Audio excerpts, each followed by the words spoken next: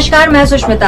आप देख रहे हैं लाइव न्यूज़ नाउ शुरुआत करते हैं देश दुनिया की बड़ी खबर से। जौनपुर के चित्तापुर, कगधरपुर निवासी शिवगोविंद पटेल के मन में बचपन से ही एनवायरनमेंट के प्रति जागरूकता थी। बचपन से ही युवक सार्वजनिक जगह पौधरोपण करने लगा और उम्र के साथ ललक और बढ़ गई। मन में आया कि साइकिल से भारत भ्रमण कर जगह जगह की संस्कृति के बारे में जानकारी ले। एवं लोगों को एनवायरनमेंट के बारे में जागरूक कर ज़्यादा से ज़्यादा पौधा लगाने के लिए लोगों को प्रेरित करें। शिवगोविंद ने बताया कि अब तक यात्रा में 1500 से अधिक पौधों को लगाया है। वही बताया कि मेरे एनवायरनमेंट के प्रति लगाव को देख थोड़ा तेज शुभ नाम क्या है आपका? हाँ मेरा नाम शिव गोविंद पटेल है ये अभी यहाँ कहाँ से निकले हैं आप? हाँ मैं सर जौनपुर वाराणसी उत्तर प्रदेश से पूरे भारत की यात्रा पे निकला हूँ 31 जुलाई 2021 से। ये कार्यक्रम का मेन उद्देश्य क्या है?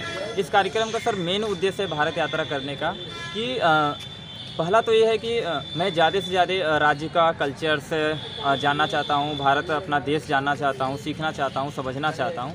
और दूसरा जो सबसे बड़ा उद्देश्य है मेरा mission green India clean India कि यह मैसेज हर लोगों तक पहुँचे और ज़्यादा से ज़्यादा लोग पेड़ लगाएँ और अपने धरती को के बारे में जाने और जागरूक हों और उसकी रक्षा कर पाएँ।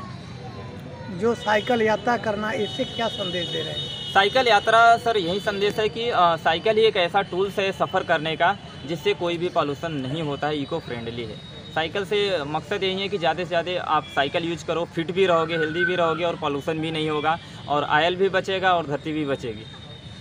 जो साइकिल से पूरे भारत का जो भ्रमण करना क्या किसी कंपनी द्वारा किया जा रहा है कि क्या है? कैसे आप कर रहे हैं? हाँ सर, ये मेरा खुद से है, क्योंकि मैंने ये ठाना था कि मुझे पूरे भारत को घूमना है, देखना है, समझना है।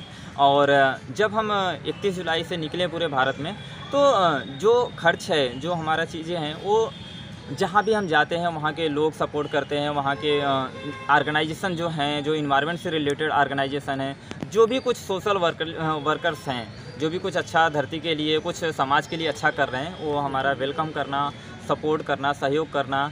और अगर रहने खाने की बात करें तो हम ज़्यादातर मंदिर गुरुद्वारे और बाकी बहुत सारे ऐसे प्लेसेस होते हैं कभी कोई फिक्स नहीं होता है मेरा। जैसे अन्य राज्यों में जाते हैं हाँ।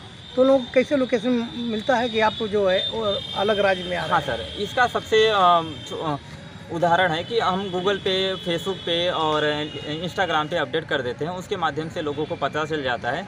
और जब हम एक जगह पे जाते हैं, वहाँ के बहुत सारे लोगों से मिलते हैं तो आगे का कांटेक्ट हमें दे देते हैं। बाकी अगर कोई भी परेशानी होता